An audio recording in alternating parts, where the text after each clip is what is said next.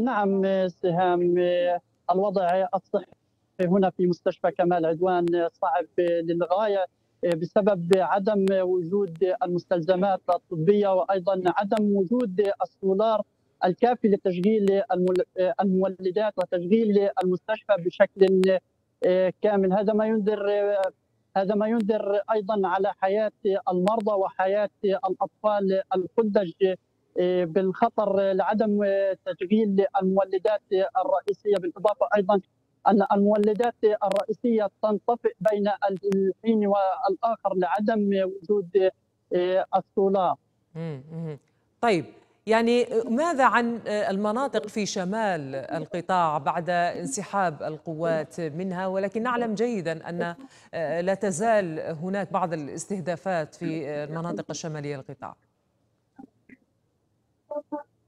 نعم الأوضاع في شمال قطاع غزة بعد انسحاب جيش الاحتلال الإسرائيلي من مخيم جباليا بعد عملية برية عسكرية امتدت ل 20 يوم أوضاع صعبة للغاية حيث دمر جيش الاحتلال الإسرائيلي البنية التحتية ودمر الألاف من المنازل بالإضافة أيضا إلى تدمير آبار المياه وتدمير وحرق المولدات حرق المولد الرئيسي في مستشفى كمال عدوان وإخراج مستشفى العودة عن الخدمة وأيضا حرق الطابق الثالث والرابع في مستشفى الأندلسي.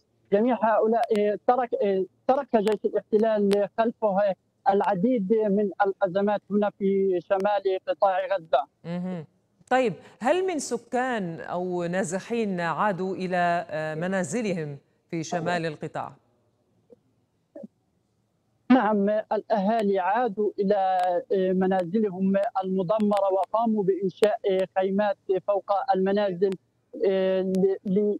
ليستمروا في حياتهم الصعبة بالإضافة أيضا عادوا إلى منازلهم في أوضاع في أوضاع إنسانية صعبة حيث لا يتوفر المأكل ولا يتوفر الماء بالإضافة أيضا أن معظم العائلات خرجت من منازلها أثناء العملية البرية العسكرية وتركت في منازلها المواد الغذائية.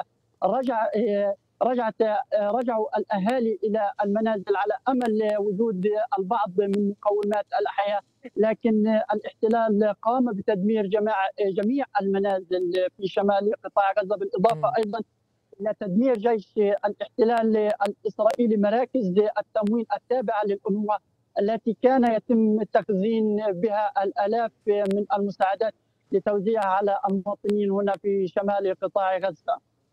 كيف يتدبرون أحوالهم الأهالي هناك وأيضا النازحون في ظل انقطاع المساعدات يعني حتى هي مقطوعة عن الجنوب جنوب القطاع، ماذا عن شماله؟ كيف يتدبرون أمورهم؟